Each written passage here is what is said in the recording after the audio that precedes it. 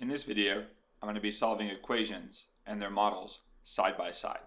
These long bars will represent our unknown, or an x, and these individual boxes will represent a single unit. You can see in the setup here, three green bars is 3x, four red squares is negative 4 units. On the other side, two green bars represents the 2x, and three green squares represents the plus 3 units. When solving equations, we're trying to get the x all by itself on one side of the equation.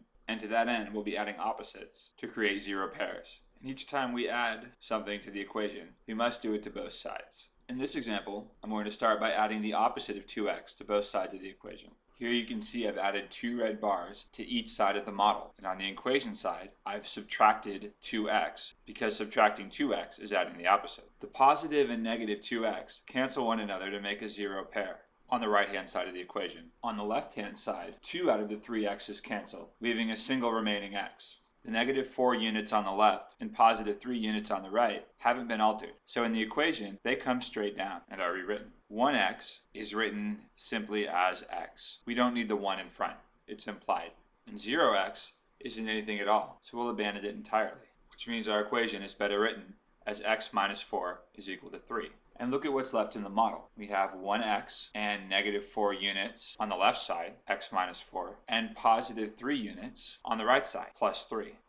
The last step is to get x all alone. Since there are negative 4 units on the left side with the x, we need to cancel those negative 4 units out. And we'll do so by adding the opposite, positive 4, to both sides of the equation. On the left-hand side of the equation and in the model, the positive 4 units cancel with the negative 4 units. On the right-hand side, they add together for a total of 7 units. So the negative and positive 4 make a 0, and the positive 3 and positive 4 on the right side make a 7. Adding 0 changes nothing, so we just write the letter x on the left-hand side of the equation, and a 7 on the right. So the answer to our equation ought to be x equals 7. Let's have a look at the model by erasing everything we scribbled out with our zero pairs. Now you can see for sure that our model reflects what we did with our equation. A single x is on the left and 7 units are on the right. So the answer is x equals 7.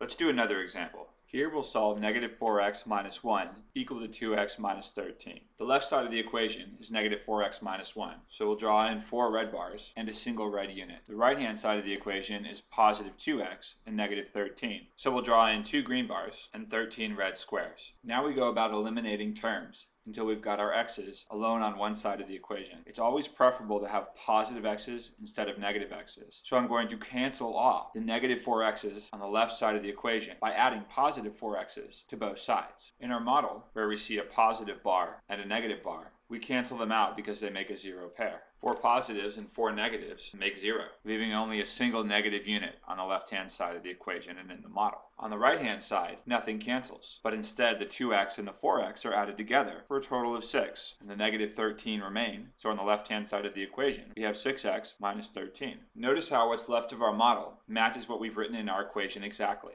We still want those x's all by themselves on one side of the equation, but we have these negative 13 units that are in the way. Well, how do you get rid of negative 13? Add the opposite, positive 13, to both sides of the equation and the model. Now that I've added the opposite of negative 13, which is positive 13, to both sides of the equation, I can cancel out any and all zero pairs. There's 1 on the left and 13 on the right. That leaves positive 12 on the left and 6 green bars, or only 6x on the right. The last step is to pair off the bars on the right with the units on the left. I've redrawn my model to make this a little easier to see. With 12 units on the left and 6 bars on the right, you can pair off one bar with every 2 units. One bar, 2 units. One bar, 2 units.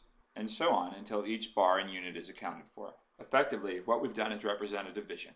Dividing both sides of our equation by 6 is the last thing we need to do to get our answer. x is equal to 2.